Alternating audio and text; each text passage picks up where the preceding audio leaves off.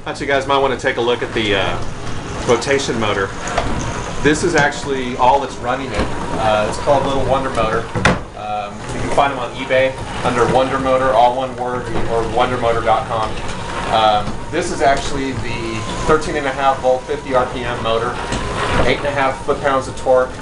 Um, and as you can see, it can handle this easily. It's just running off that single, there's actually a 12 and a, and a 6 volt there, but it's actually just running off the 12 volt.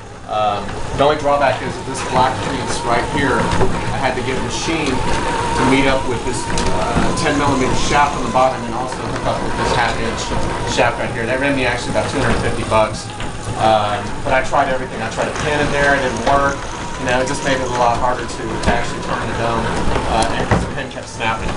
Um, you know, the whole beauty of this thing obviously is when you motorize, you want to be able to, you know, hook up Maxdome to it, and with this you can see I, I just put some switches in it.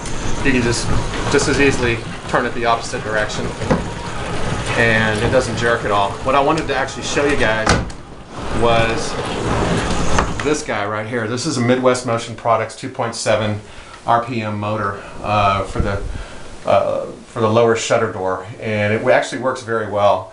And uh, you know the only drawback is to it, it's about 450 bucks.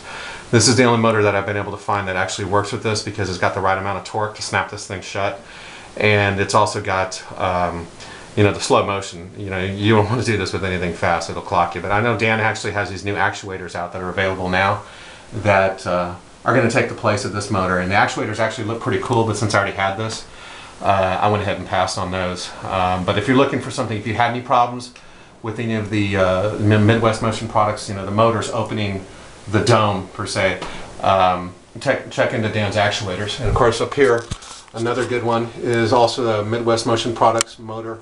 I think that's a 25 R, 27 RPM, uh, and that one pulls the dome open very well, the shutter door, uh, with no problems at all. But anyway, guys, thanks for taking a look. And like I said, shoot me an email or uh, just log on to our website, uh, lozanoobservatory.com and uh, let me know if you got any questions. Thanks.